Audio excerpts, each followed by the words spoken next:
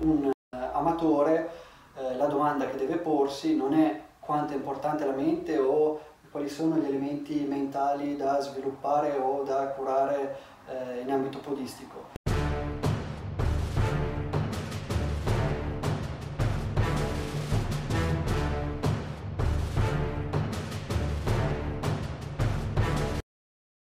Ciao a tutti gli amici del canale, eh, confrontandomi con Massimilani abbiamo pensato di eh, inaugurare una nuova rubrica, ovvero dare la possibilità ai eh, telespettatori, comunque le persone che seguono il canale, di fare delle domande eh, di natura psicologica a cui io eh, piano piano ogni settimana andrò a rispondere. Quindi se avete qualche curiosità o qualche dubbio inerente il rapporto tra mente e corsa, basta che lo scrivete qua sotto, ogni settimana andremo a scegliere una del, delle domande che farete e risponderò a questa domanda. Per eh, questa puntata ho deciso di rispondere a forse la domanda più importante che eh, è stata posta da un amico eh, che conoscete in molti, Cosimo Bertolotto, noto anche come Cosimo Ragni, ovvero quanto conta la mente. Penso che tutti quanti si siano domandati quanto è importante la mente all'interno dello sport più in generale e quanto è importante all'interno della corsa. Per rispondere a questa eh, domanda ho scelto di appoggiarmi a un signore, uno psicologo, uno degli psicologi più noti della storia, che si chiama Abraham Maslow. Abraham Maslow, eh, ho qui il suo libro principale, che è motivazione e personalità, è stato il capostipite della cosiddetta psicologia umanistica. È un signore Maslow che eh, è vissuto a metà del secolo passato eh, lavorando prevalentemente in California sulla costa di Big Sur. Eh, il contenuto più conosciuto di Abraham Maslow è, nota, è noto come la piramide di Maslow, probabilmente all'interno di alcuni corsi aziendali o se avete frequentato eh, dei corsi di formazione di matrice psicologica avrete già sentito parlare della piramide di Maslow. Eh, se ne parla soprattutto in ambito aziendale. Ho disegnato la piramide di Maslow, la vedete qui, come eh, potete notare è una piramide strutturata su cinque livelli. Cosa suppone eh, la piramide di Maslow? Che per arrivare ai livelli più alti bisogna prima aver soddisfatto i livelli sottostanti. All'interno di ogni livello ci sono dei bisogni, quindi eh, per eh, soddisfare i bisogni più elevati abbiamo la necessità di soddisfare i bisogni sottostanti vi parlo un attimo della piramide di Maslow per eh, rendere chiaro cosa dirò poi in ambito podistico.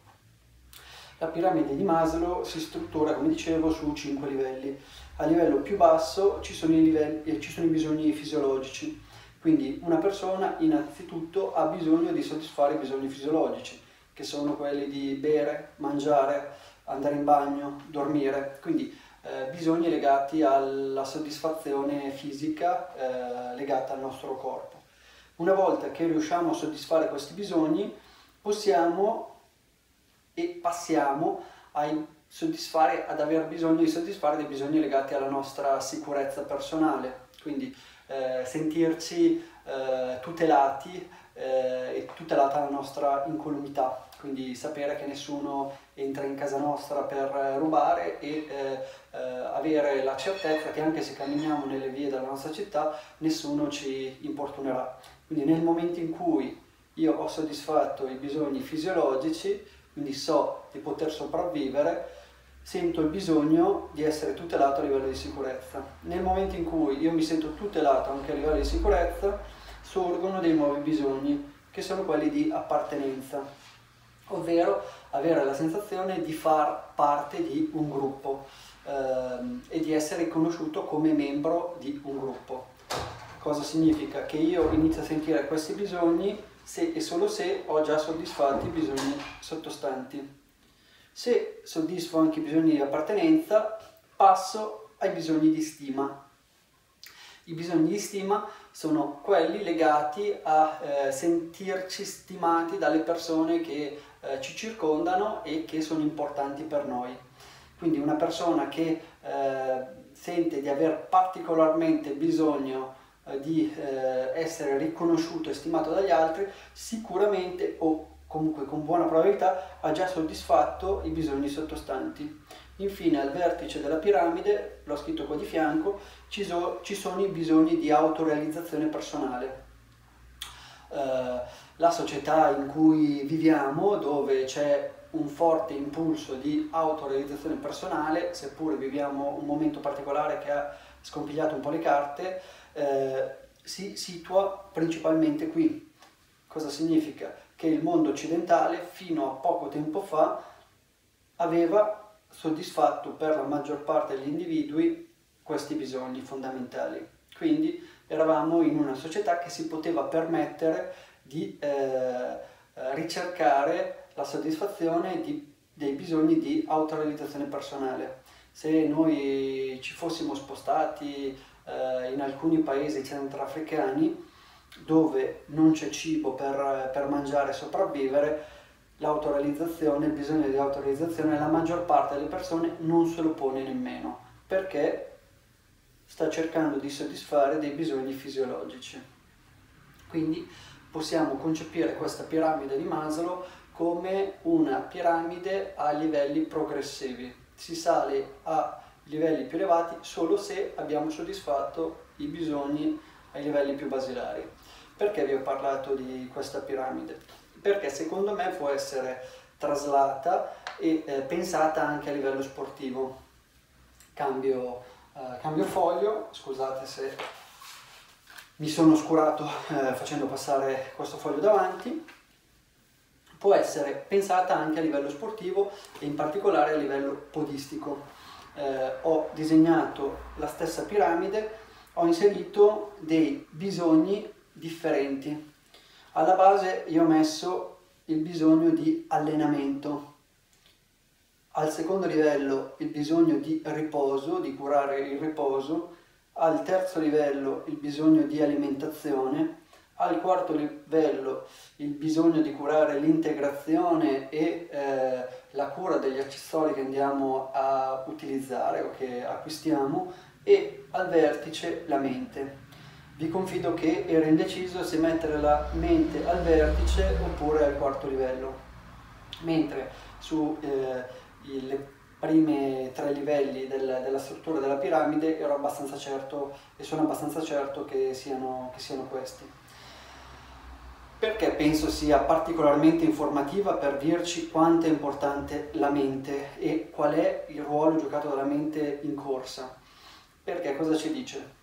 ci dice che se non siamo abbastanza allenati, se non abbiamo curato bene l'allenamento, anche se abbiamo una mente fortissima, questa non servirà a nulla.